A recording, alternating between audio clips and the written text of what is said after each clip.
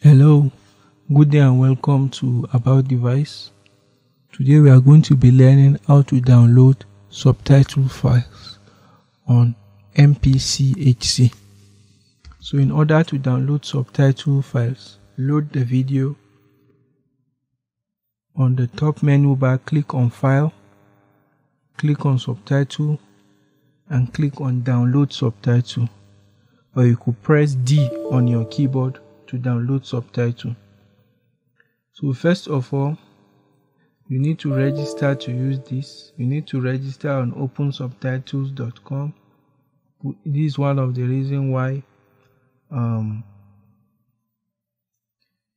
um, MPC is different, but you could use other down, um, subtitle download engines.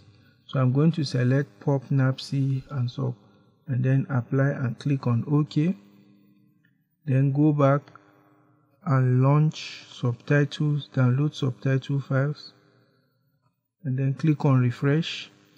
You could see that some subtitles have been loaded. Then next you have to look at language.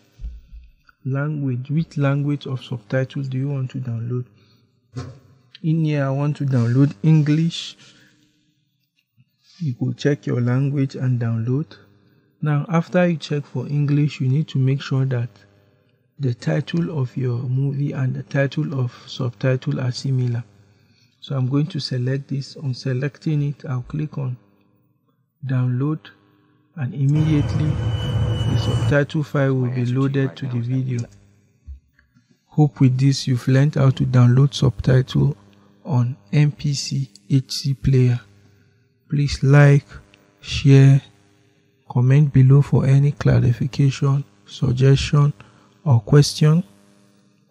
Also subscribe to About Device for more tech related tutorials. Thank you.